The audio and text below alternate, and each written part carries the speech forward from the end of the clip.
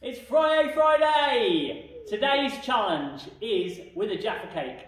I want everyone to peel the Jaffa cake and all I want to see is the orange bit of the Jaffa cake. Okay, completely clear of chocolate and biscuit. Are you ready?